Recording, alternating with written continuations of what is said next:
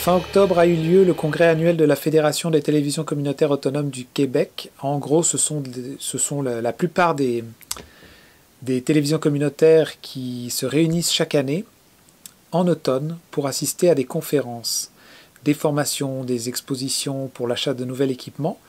Et c'est aussi un moment pour l'Assemblée générale annuelle de la Fédération et un temps de partage des, des enjeux et des difficultés de chacun et donc d'échange d'informations pouvant contribuer aux efforts des, différents euh, télévisions communautaires dans le, média, dans le domaine des médias communautaires. Et donc cette année fut un congrès virtuel et j'ai avec moi Amélie Hins, directrice de la fédération, pour nous en parler.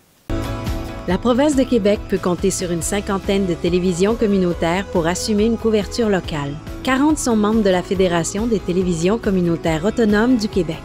Les membres de la Fédération sont répartis dans 14 des 17 régions de la province de Québec.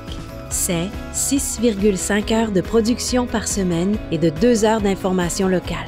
398 municipalités desservies au Québec avec un potentiel de 1,3 million de téléspectateurs. 932 bénévoles participent de près ou de loin à la programmation d'accès. Avec la contribution des bénévoles, les télévisions communautaires autonomes garantissent une programmation de proximité avec les gens de la communauté. Le besoin et le désir pour une télévision communautaire sont d'être le reflet de la réalité et des réalisations du milieu. Tant qu'elles continueront d'offrir de l'information locale, d'impliquer leur population et de défendre les intérêts de leurs concitoyens, les TCA garderont leur raison d'être. Oui, ben le congrès annuel, euh, euh, c'est une seule fois par année. Puis c'est vraiment le moment où les télévisions ont l'occasion de, se rencontrer euh, en personne habituellement, puis de pouvoir échanger sur les enjeux qu'ils vivent à l'intérieur de chacune de leurs télévisions individuellement.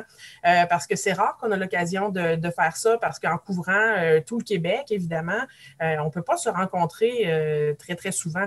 parce que c'est ça, de la Gaspésie à la il y a quand même quelques heures de, voyage à, faire. Donc, le congrès, c'est ce moment-là. C'est un moment que, les gens apprécient beaucoup, puis euh, lequel attendent euh, impatiemment à chaque, à chaque automne. On fait toujours ça euh, au mois d'octobre. Et puis, euh, il y a beaucoup de discussions euh, euh, informelles qui s'y passent aussi. Les gens peuvent partager leur expérience. Les nouveaux arrivés dans les directions, les coordinations des TV peuvent en profiter pour poser plein de questions à ceux qui sont là depuis longtemps. Donc, c'est extrêmement utile. En plus, évidemment, de notre programmation régulière où on fait l'Assemblée générale annuelle des membres, mais aussi où on offre des ateliers, des conférences, des formations. Euh, que les télévisions, euh, auxquelles les télévisions peuvent euh, assister. Donc, tu sais, le congrès, c'est tout ça à chaque année. cette année, malheureusement, il a fallu le faire de manière virtuelle parce qu'on ne pouvait pas vraiment, évidemment, se, rencontrer, tout le monde ensemble. Donc, on a quand même eu une programmation régulière. Donc, on a fait l'Assemblée générale annuelle, comme prévu. On a fait, on a fait trois ateliers de formation au cours de la semaine euh, du congrès.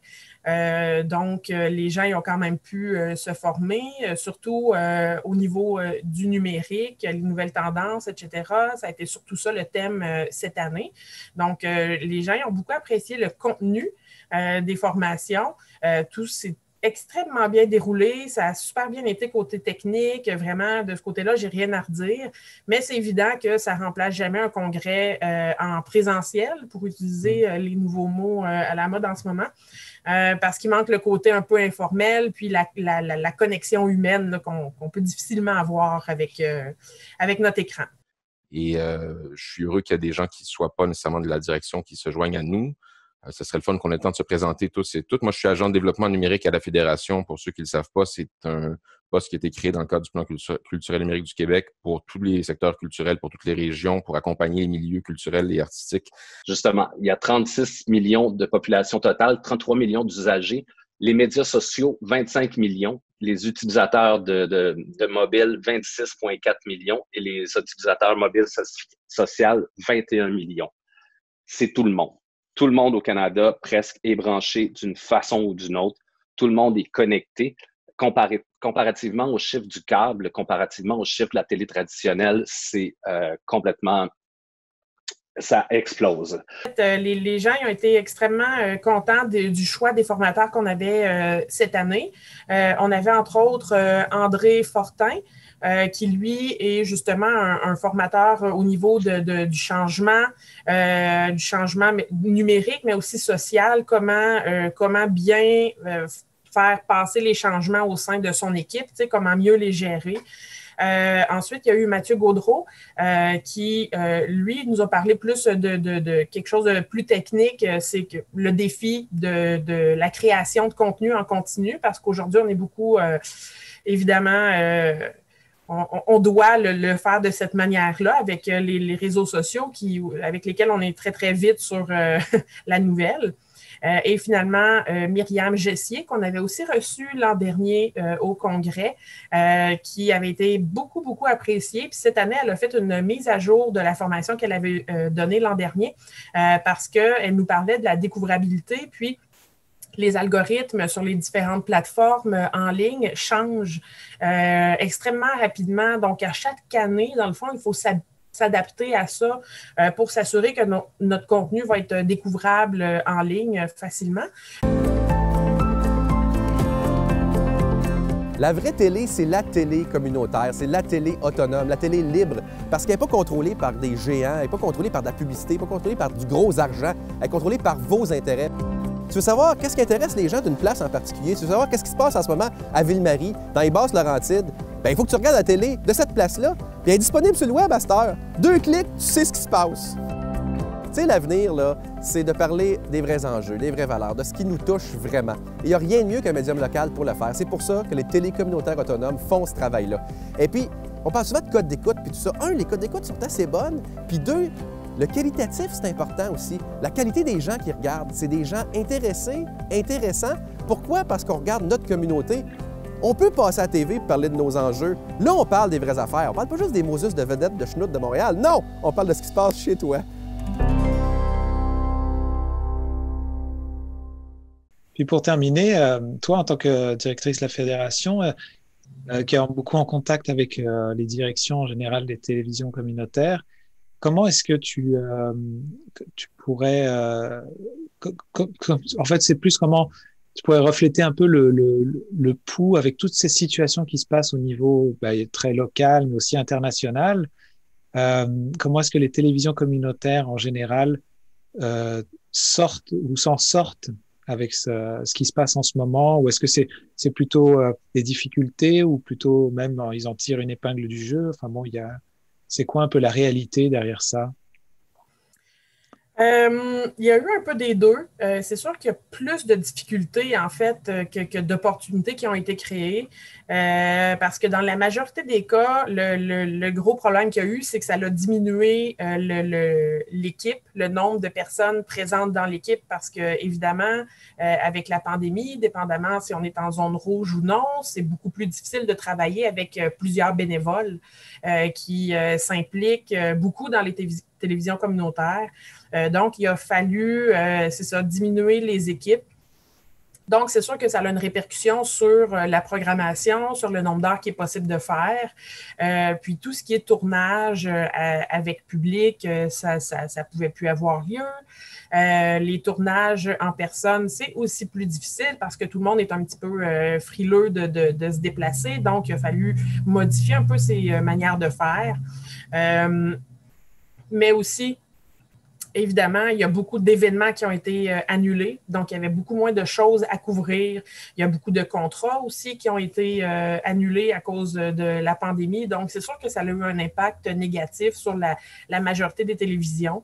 Euh, il y en a qui ont réussi quand même à tirer leur épingle du jeu parce que en faisant plus de contenu de manière virtuelle, ils sont allés chercher des nouveaux collaborateurs mmh. qui, qui ont participé à la création de, de contenu euh, d'informations surtout. Donc, il y en a qui ont, euh, qui ont eu une augmentation de leur production.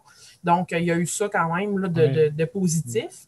Euh, mais c'est sûr que il a fallu s'adapter. Tout le monde a dû s'adapter, changer ses manières de faire. Puis, euh, ça a eu un impact dans le quotidien en général. Oui, hein. on assiste vraiment à une, moi en tant que technicien, vraiment un genre de virage, de façon de fonctionner, effectivement, euh, même de faire comment on va faire le montage à, travers ça. Et grâce aux plateformes de, de vidéoconférence, euh, ça marche de même. Euh, J'étais étonné de voir que même dans les chaînes plus mainstream traditionnelles comme TVA, il y avait, on pouvait assister à des, comme à Mario Dumont qui est dans son salon en train de faire son émission. Ou, on a une sorte de, on baisse un peu en qualité, mais le contenu continue euh, parce que c'est sûr que les caméras, le son, euh, toutes ces choses-là sont, sont différentes qu'en studio, les éclairages, tout ça, on, ne peut pas accoter ça à date parce qu'on n'a pas ça chez soi. Mm. C'est intéressant de voir, hein, de dealer ben oui, c'est ça. Puis euh, en même temps, ben, c'est ça, ça nous fait réaliser qu'il y, y, a quand même moyen de faire les choses autrement. Euh, puis peut-être qu'à moyen terme, ça va nous faire aussi investir dans autre chose, dans quelque chose de différent, euh, pour mieux adapter euh, les tournages à une réalité qui risque de nous suivre encore pendant un certain moment. Mm. Donc, donc oui, on, on verra bien ce que ça va donner. Les télévisions communautaires autonomes du Québec, ce sont les télévisions les plus importantes parce qu'elles sont proches de la communauté. On veut encourager des gens qui parlent de ce qui nous intéresse, mais aussi qui participent au développement local. Mais c'est fini le temps où on allait euh, lire une affaire qui a été écrite avant hier euh, au bout du monde. Non! Tu veux savoir ce qui se passe chez vous? Bien, ma télé préférée, c'est la télé autonome communautaire. C'est ici que ça se passe. 1700 dollars en prix. Tous les dimanches, midi 30, jouez à votre super télé bingo.